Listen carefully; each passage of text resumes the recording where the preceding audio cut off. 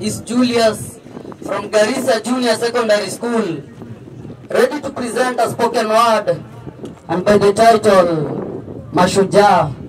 So sit back, relax and enjoy the floor. Sikizeni hii story ilozidi history na kuacha historia. Have you ever asked yourself how did it end up that now Kenya na Afrika pia uhuru tuko nao? It is through these people wenye walipigana wakamwaga matone ya damu yao,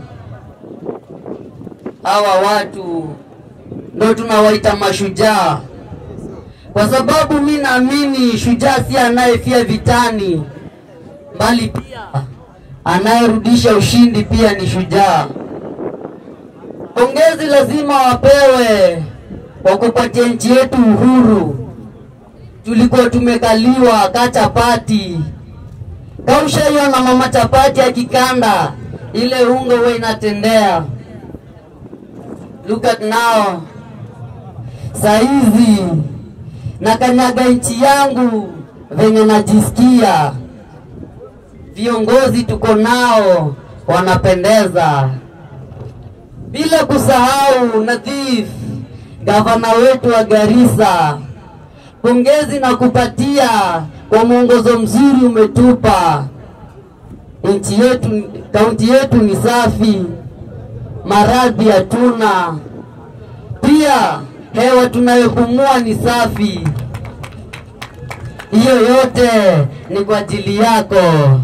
Saluti na kupigia gavana wetu, bila kusahau mdogo wako, ingali jina sijui, lakini Abdi, asanti sana kwa kunikumbusha.